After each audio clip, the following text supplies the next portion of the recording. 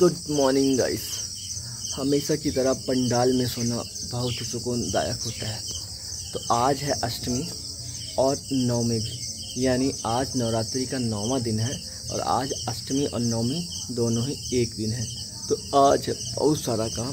तो जल्दी से उठते हैं, नहाते हैं, रेडी होते हैं और काम स्टार्ट कर देते हैं। अदरवाइज़ बहुत ज़्यादा लेट हो जाएगा क्योंकि आज सबसे पहले पूजा होगी। पूजा के साथ साथ जो अष्टमी का प्रसाद ही होता है स्पेशल टाइप का, वो चढ़ाया जाएगा। उसके बाद कन्या भोजन करवाया जाएगा और साथ में भंडारे की तैयारी करनी पड़ेगी। तो चलिए जल्दी से रेडी हो जाते हैं। तो गाइज़ भंडारे की तैयारी हो चुकी है। सबसे पहले हमने आलू निकाला है और आलू को बॉईल करने के लिए एक बड़े से भट्टे में रखा जाएगा। अभी थोड़ी ही देर में गाँव के बहुत सारे लोग इकट्ठा होंगे और सब हेल्प करेंगे भंडारे की जो सामग्री होती है, वो बनाने में।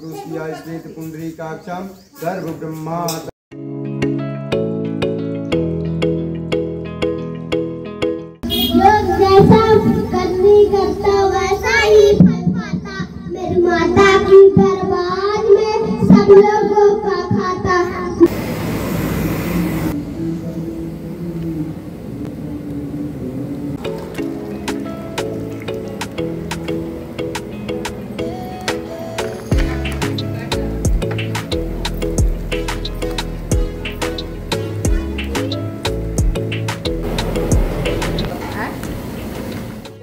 लोग बैठे हैं, सब लोग।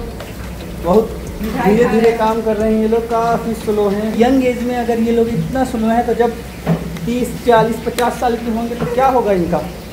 खैर, कोई नहीं, चलो। और इधर बन रहा है स्पेशल चाट ओके तो आलू, छोले की सब्ज़ी बट ये स्पेशल है। इसमें कॉलीफ्लावर यानी गोभी और शिमला मिर्च भी ऐड किया जाएगा।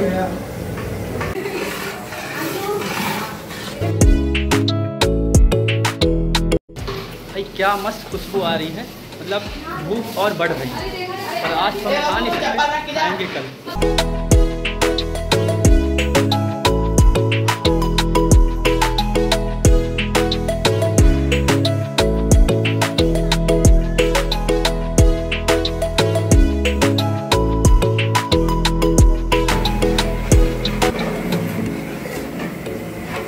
बहुत गाढ़ बना दिया तुम। आराम से देखना आराम से।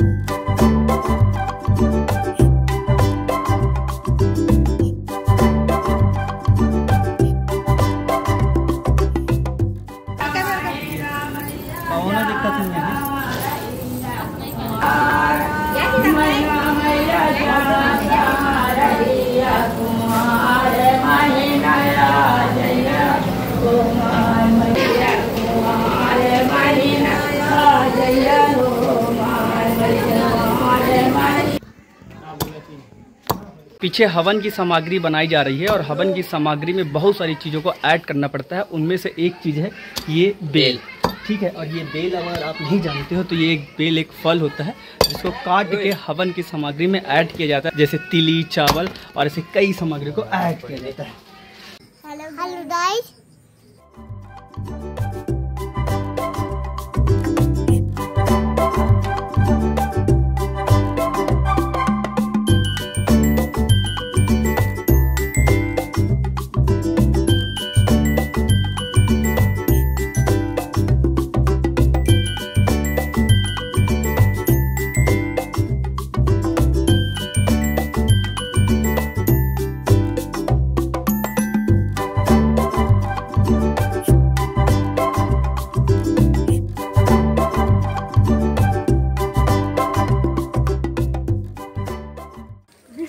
खाओ बच्चे लोग इधर देखो और खाओ।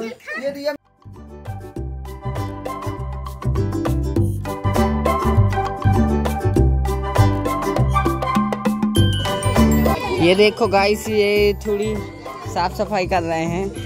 हमारे गाँव के पंडाल का।